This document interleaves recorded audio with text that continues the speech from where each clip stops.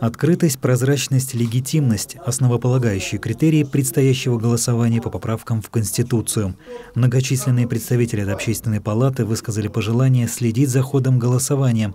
От палаты городского округа на участках будут находиться 757 наблюдателей.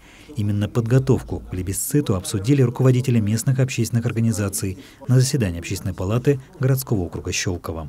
Семь дней голосования а, и, соответственно, семь человек на избирательном участке, э, которые наблюдают за выборами. Это и э, те люди, которые э, выездные комиссии сопровождают, и на местах, чтобы все было в рамках того, как прописано это законом.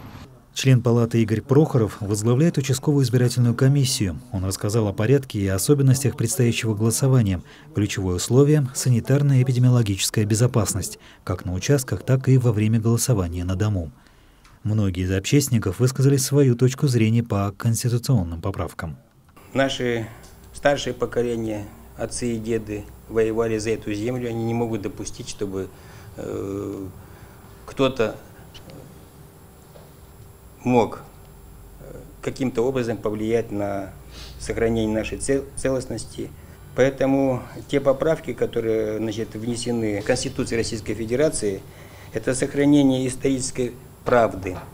Ирина Волкова выступает за сохранение традиционных семейных ценностей. Закрепление таких поправок в Конституции позволит обратить внимание общества на организации, работающие с семьями. В гражданском браке рождается мало детей, а, так как пара не стремится к тому, чтобы ну, сохранить официально семью. И закрепленные в нашей Конституции вот эти вот поправки как раз-таки а, ведут к тому, чтобы эти семьи создавались официально для того, чтобы а, дети а, росли в семье а, с мамой, папой, потому что это очень важно.